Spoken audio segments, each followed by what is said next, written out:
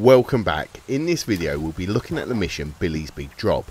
This is a nice and simple one. All we need to do is a flip trick down the drop before doing a backside 360 or nollie down the gap. I've left links to all the basics in the description should you need it. There's not really much to say about this one. Any flip trick seems to work and providing you rotate the ollie or nollie backside and get a clean 360 it seems to count. The only thing I will say is if you're playing with big drop landing inputs enabled, don't forget to apply your inputs to roll away. If you found this video helpful, it would be greatly appreciated if you would consider subscribing. With that, I'll leave it here for this video and we'll carry on in the next one where we'll look at the mission Pavilion Manual. Until then, take it easy.